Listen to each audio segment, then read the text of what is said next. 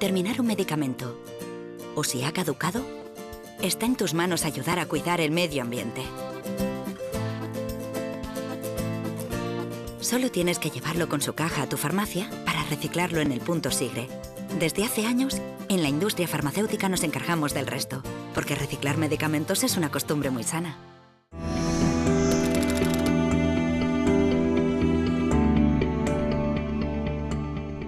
La epilepsia es una enfermedad que, se caracteriza porque aparecen crisis de forma impredecible y las crisis epilépticas son una alteración de la conducción eléctrica, de la transmisión neuronal, que hace que muchas neuronas de una manera anómala descarguen a la vez, lo que llamamos sincrónicamente.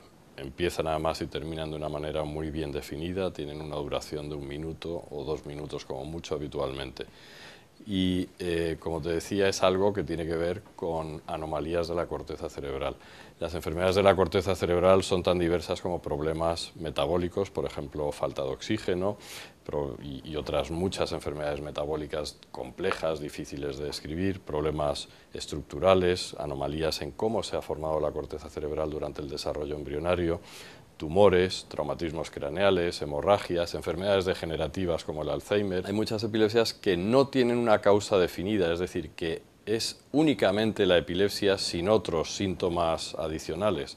Y eso representa un grupo grande, son casi un 60% de las epilepsias en las que no encontramos la causa de una manera tangible. En esos casos, por lo que sabemos es que tiene que ver con anomalías que hacen eh, que, la transmisión neuronal se ve afectada en relación con canalopatías, canales iónicos que son unas estructuras de las membranas neuronales que permiten el intercambio de cargas eléctricas, iones, y con ello eh, producción de eh, corrientes eléctricas entre las neuronas. La epilepsia se diagnostica a partir del inicio de las crisis. No hay forma de predecir quién va a desarrollar una epilepsia. No existe desafortunadamente un diagnóstico previo al desarrollo de la enfermedad. Y el diagnóstico se establece cuando se han repetido o ha ocurrido al menos una crisis epiléptica y vemos que de fondo hay una enfermedad que, probablemente va a provocar más crisis epilépticas. Pero hay un 30% de epilepsias que tienen una repercusión importante porque las crisis no se controlan, porque las crisis son relativamente severas, con riesgo de,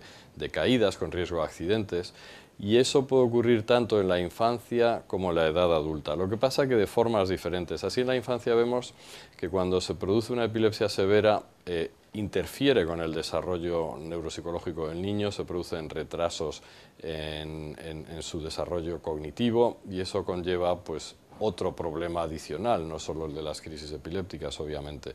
Y muchas veces esa incapacidad es mayor que lo que sería la epilepsia en sí. Cuando la epilepsia es leve y está bien controlada, la esperanza de vida es igual al de la población general. Cuando la epilepsia es grave y se repiten las crisis epilépticas a pesar del tratamiento, sobre todo las crisis convulsivas, lo que llamamos en, nuestros términos crisis generalizadas tónico-clónicas, que son estas crisis más severas con convulsiones violentas.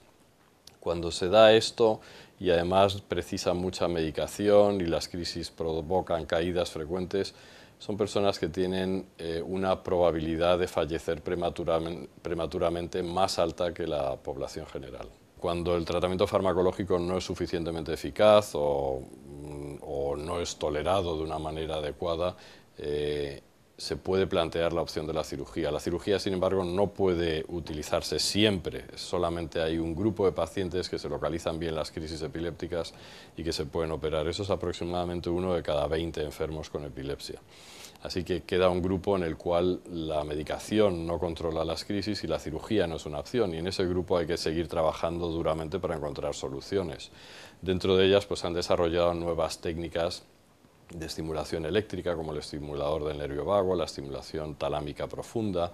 Es decir, hay, hay opciones, pero son opciones que hoy por hoy no están demostrando una eficacia superior a la de los fármacos y desde luego no llegan a los niveles de control de crisis que se dan con la cirugía cuando ésta se puede hacer. Como en muchas enfermedades, hay formas típicas y clásicas que son muy fáciles de diagnosticar, pero luego hay formas de epilepsia, hay personas en las que se presenta de tal manera que el diagnóstico es complicado.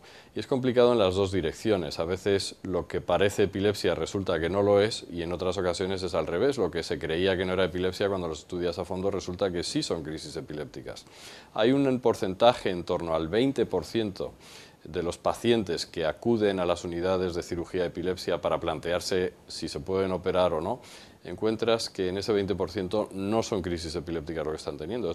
Puede aparecer en cualquier momento de la vida, desde el recién nacido hasta, hasta el anciano. Entonces, la cuestión es que son diferentes a lo largo de la vida, las formas en que se manifiesta son diferentes.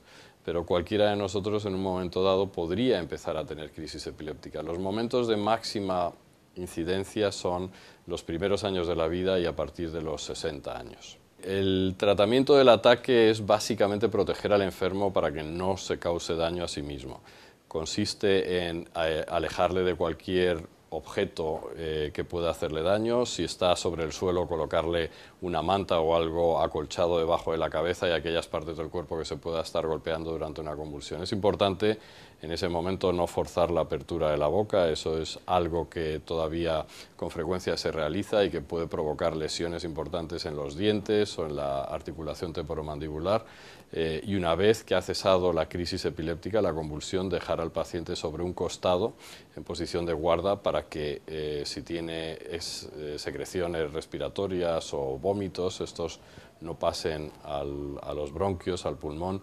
Donde más se está poniendo énfasis es en el diagnóstico genético.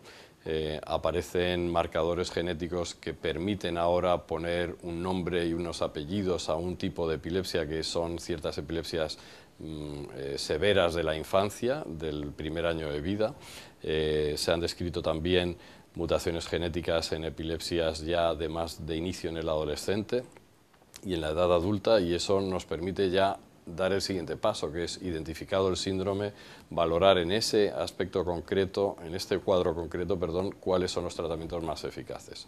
Habría situaciones, esto no se podría hacer en todos los pacientes, pero podríamos a lo mejor identificar algún grupo de enfermos que mediante un dispositivo que detecta la crisis le avisa a tiempo a él o a otra persona y se administra la medicación en el momento del episodio.